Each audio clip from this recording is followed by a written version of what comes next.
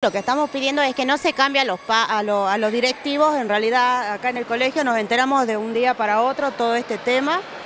Eh, bueno, lo que estamos pidiendo es que no se cambie a los directivos, si lo tendrían que haber hecho, lo tendrían que haber hecho, la verdad, a principio de año, no a estas alturas, porque ya algunos de nuestros niños también están en pruebas, en todas esas cosas, y yo creo que no va eso, o sea, para, para nuestros niños, no... No hubo ninguna reunión, tenemos, nos comunicaron hoy a la mañana a las ocho y media, que vino la señora ministra el viernes 9 y les avisó a los docentes que los cambios que se iban a hacer. Eh, eso prácticamente nos informaron, en ningún momento nos, avisaron para una reunión si estábamos de acuerdo o no.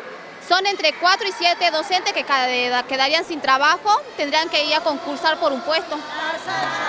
Eh, básicamente lo que nosotros queremos es que los docentes que estaban trabajando hace años aquí sigan con su puesto de trabajo, y si hay que haber cambiar un directivo, que sea uno, uno lasallano, que se comprometa con la educación, que sigan siendo el frente de los niños. Nosotros la escuela no hace paro, hace años tengo mi tercer nena que ya va a salir de la primaria, nunca se hizo paro. No queremos un directivo de afuera que obligue a los docentes a hacer paro.